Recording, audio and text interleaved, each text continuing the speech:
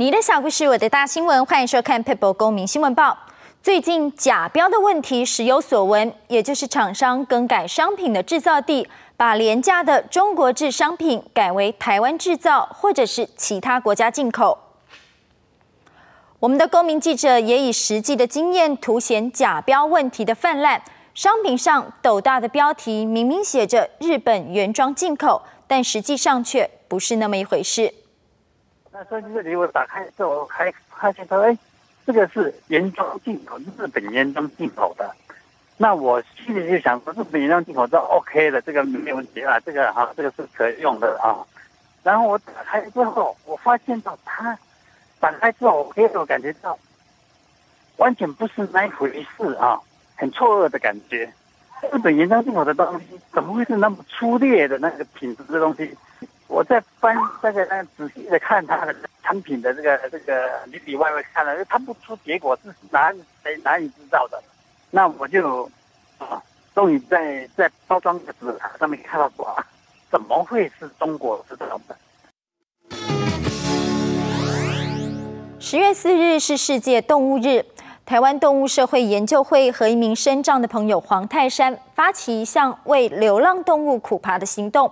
放下人类的高度，透过在街上爬行，体会一只被遗弃的动物在都会空间里的仓皇无助。台湾的那个流浪狗的捕捉呢，事实上都交给那些清洁队，那这些清洁队都是用那种最残酷的方式来捕捉狗，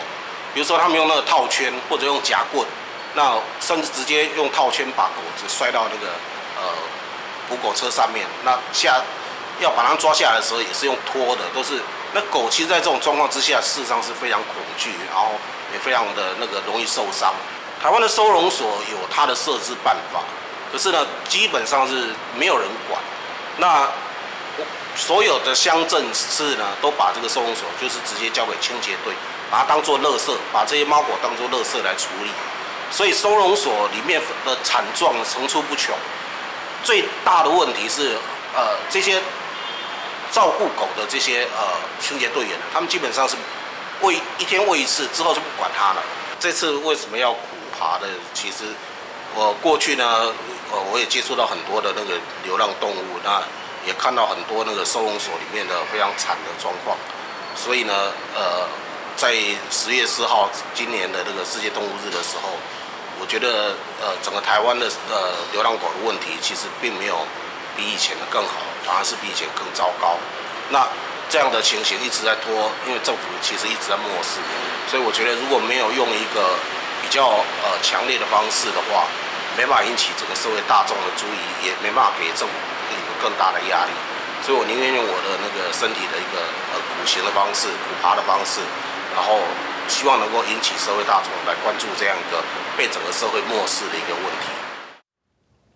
刚刚影片中看到的苦爬行动，从九月二十五号开始，预计要进行十四天。希望透过这样子的行动，唤起更多关注，为流浪动物争取更多权益。也希望更多人可以支持。《台北公民新闻报》，我们下次见。